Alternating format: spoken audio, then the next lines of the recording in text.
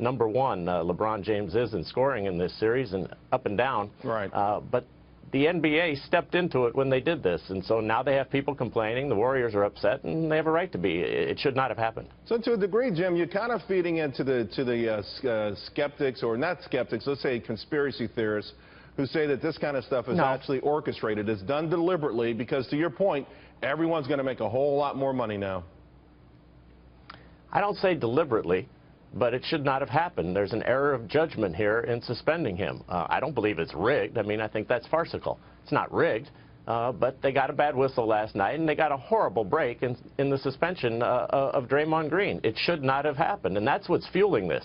It then fuels and leads to conspiracy theories and to the type of thing that Mrs. Curry said. Right. That's what's fueling this. It's the actions of the NBA. It's not the actions of the players on the court. It's it's these coincidences, if you want to put that in quotes, that's leading to it. All right, coincidences, I will. But Jim, real quick before we go, we know that these refs are humans and, and they understand and look at the tape, and when they mess up, often what we've seen in sports is that they'll come back and maybe overdo it for the other team. In other words, could we see the, on Sunday the Warriors with something of, of a ref, referee advantage?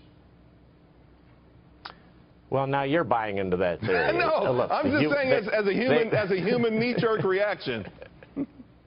The home team always has an advantage because it is intimidating to be in front of 20,000 people who are hollering and screaming. That's why it's a home court advantage. That's why now the Warriors are a four and a half or a five point favorite after they've looked terrible in these last two games. Look, they've got to make baskets. If they play the way that they've played, they'll win the game. If LeBron James and, the, and Kyrie Irving play the way they've played the last two games, we're going to be in for a barn burner, and, and the Cavaliers might win this.